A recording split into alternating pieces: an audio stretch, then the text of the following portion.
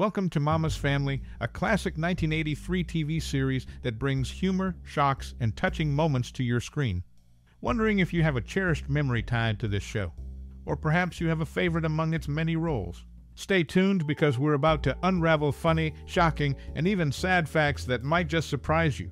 Now, let's dive into the world of Mama's Family. What's your most cherished memory or personal experience with the show?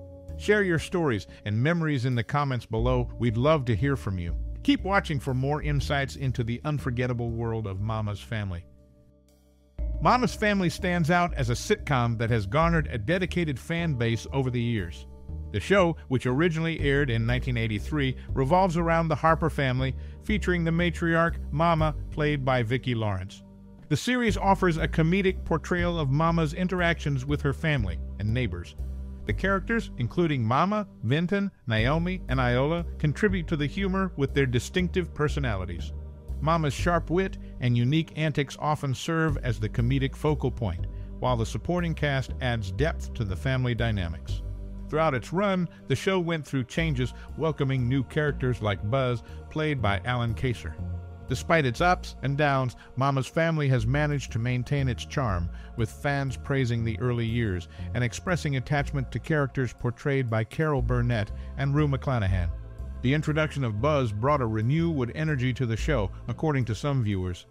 One viewer recalls enjoying the show since its premiere, making it a staple in their television routine. The humor derived from Mama's quick comebacks and quirky behavior continues to bring laughter, even during reruns. The nostalgic sentiment is evident in the mention of specific memorable moments, such as Mama going off in her own unique way or Iola's distinctive knock-knock greetings. While the show eventually concluded, its impact remains enduring for fans who appreciate the timeless humor and memorable characters. The viewer expresses a sense of connection with the show, turning to it for laughter and entertainment. Overall, Mama's Family has left a lasting impression on those who have followed its comedic journey. Dorothy Lyman, a key figure in Mama's family, also maintained a full-time role on the daytime drama All My Children, shuttling between Los Angeles and New York City. Meanwhile, Vinton worked as a locksmith at Quick Keys, and Naomi, initially a checker at Food Circus, climbed to the position of assistant manager. Vinton's first wife, Mitzi, left him to pursue a career as a cocktail waitress in Las Vegas, a plot point revealed in the series' opening episode. These details offer a glimpse into the characters' backgrounds and the interconnected dynamics within Mama's family. In the town of Raytown, where every business bears a variation of the town name, such as McRae's and Shea Ray, Mama's family unfolds its narrative. The town boasts two newspapers, the Bugle and the Courier. The roots of this show trace back to a skit on the Carol Burnett Show, featuring Vicki Lawrence, Carol Burnett, Harvey Korman, and Betty White. From this comedic inception, it developed into a distinct entity. Key to the series is Dorothy Lyman, initially known for her flamboyant portrayal of Opal Sue Gardner on the soap opera All My Children. Carol Burnett and Vicki Lawrence, avid fans of Lyman, suggested her for the role of Naomi Oates Harper.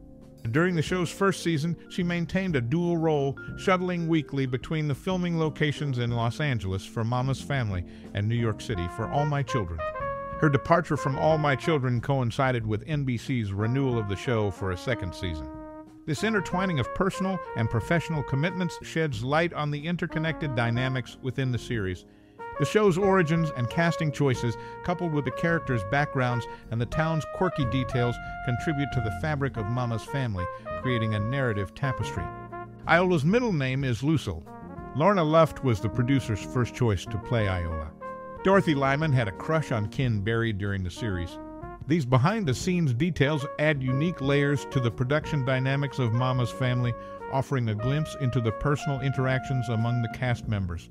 Iola's middle name, Lorna Luft's initial consideration for the role, and Dorothy Lyman's feelings towards Ken Berry provide intriguing insights into the series' off-screen dynamics. Such anecdotes contribute to the overall narrative of Mama's family, demonstrating the interplay between the actors and the show's behind-the-scenes dynamics.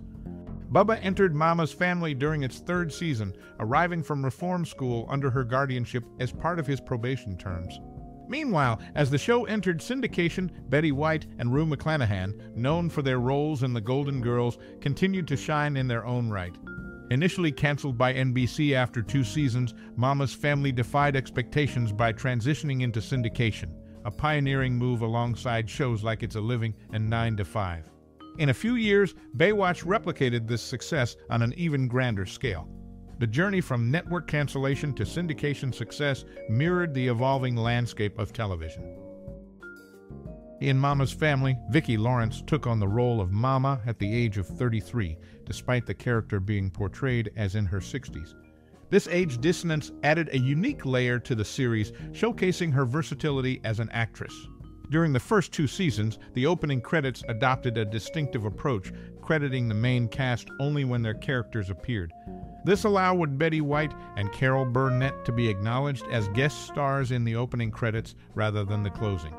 The shift to syndication in 1986 altered this practice, with all main cast members credited in each episode. An exception was the episode Best Medicine, where Betty White was designated as a special guest star in the opening credits. Raytown, the setting for the show, is an actual town in Missouri. In the TV special Eunice, they reference St. Louis being a couple of hours away, emphasizing the real world connection to its fictional setting. These behind the scenes details, from age considerations to credit practices and geographical authenticity, provide a deeper understanding of the production dynamics. Each element contributes to its distinctive narrative, reflecting the subtle intricacies that shaped its evolution.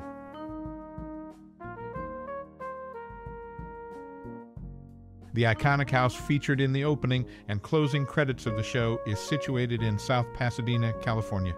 Thelma's late husband, Carl, rarely appeared outside the bathroom in flashbacks, with his voice provided by co creator Dick Clair and occasionally portrayed by Ken Berry.